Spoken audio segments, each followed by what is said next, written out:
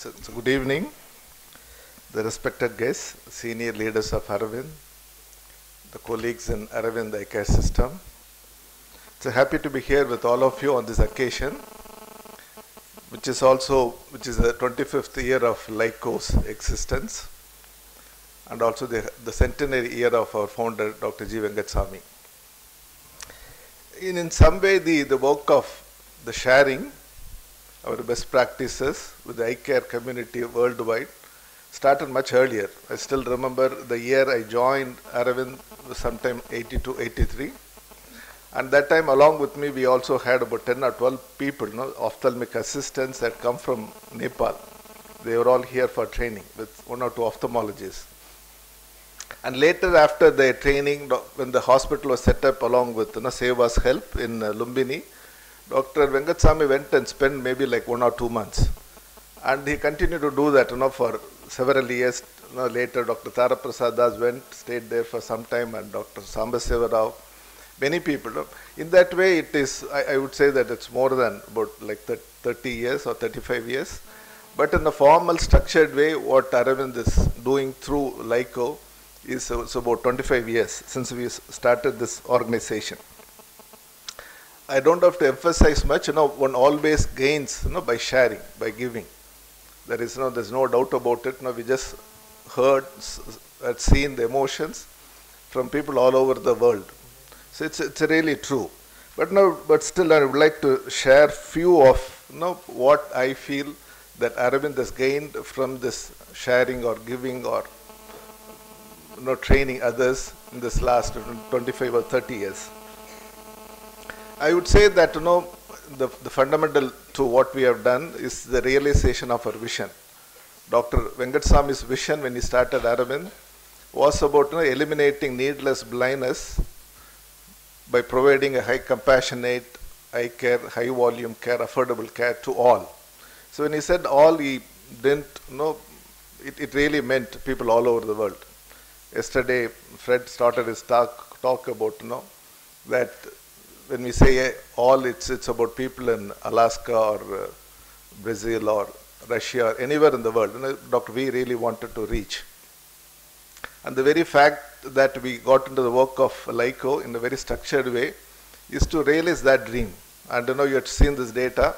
The 340 eye hospitals with which we Aravind work contribute now have contributed an additional whatever they were doing. Now they do an additional of about 700,000 to about 800,000 surgeries like it's almost like two times of what we do and definitely this work goes on to eliminate needless blindness or avoidable blindness all over the world. The second important thing is any organization would like to become an organization of excellence, a center of excellence. Whoever starts an institution, they want to start with that ambition. But no, it doesn't, any, just the infrastructure or the technology or the equipments you have or the excellent manpower who excel in the work they do or service they provide in the hospital doesn't make them a, a, center of excellence. The center of excellence comes only when you train others in the, the same way to excel as we all do. I mean, only then you know, an organization can become a center of excellence. I truly believe you know, this work, what we do through LAICO, sharing our practices, training either the doctors or the nurses or the thing that has brought the visibility. The very fact that we have been you know, honored by several organizations, whether it's a Hilton Foundation or a Gates Foundation or by the Portuguese Foundation, is all because the, the work we have done of sharing in, in a formal way or informal way all these years. And again, the sharing and the training also deepens the commitment of our staff. So once they train a staff, somebody, the appreciation they get from them, or the training they do in some of the organization on their on-site visits, the appreciation they get from those institutions really deepen the values. You know, they get the, the motivation in the work they are doing. Probably some sometimes you know, people ask, you know, what is the secret of your staff, you know, how they are motivated.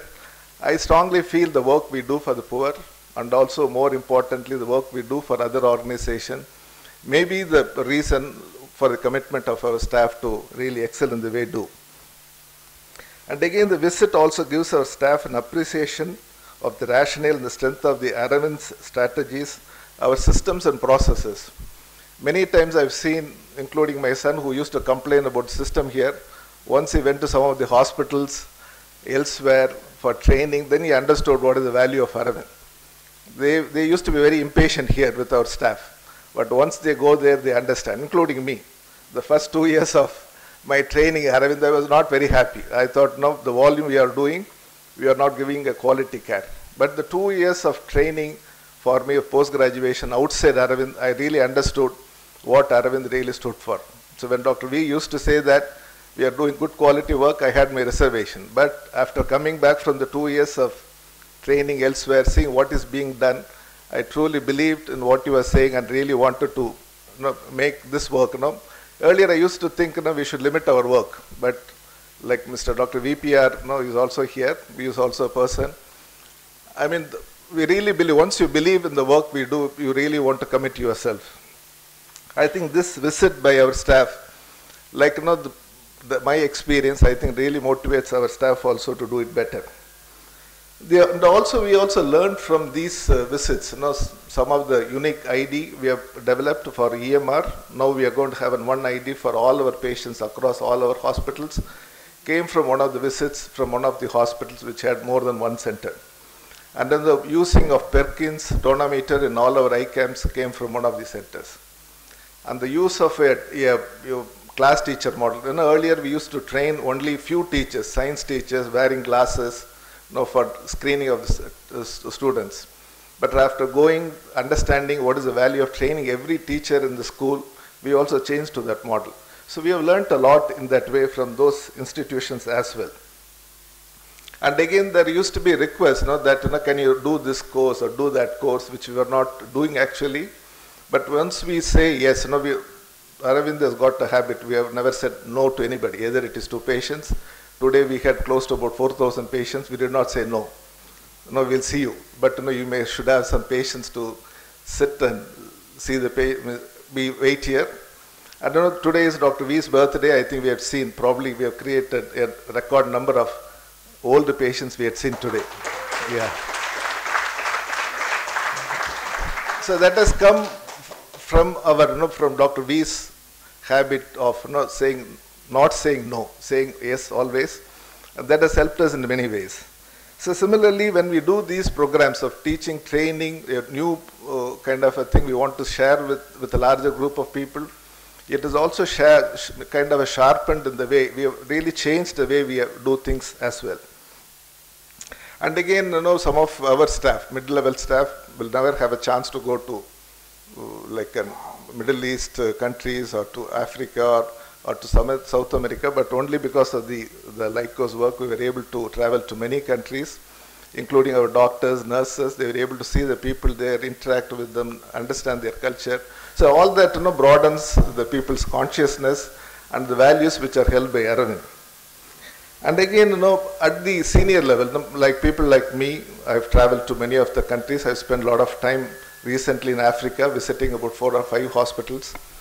Many of our chief medical officers also go. They also learn many things. You know, one is our commitment. You know, what is it really working for Aravind? So when we go to these places, we really understand what is it, uh, what uh, makes our place work more efficiently and effectively. And one of the things we learned from these visits is the role of leadership. We really found that any institution that becomes better has got a good leader, a committed leader. That again, you know, really is kind of uh, strengthen our resolve to develop the leadership within the organization, and we have done many things to that. And in short, as mentioned, this important work has in a large way has helped us to excel in what we do well, and we'll continue to do this work in the coming years as well and more importantly, helping us move closer to our aspiration of eliminating needless blindness from the world. Thank you very much.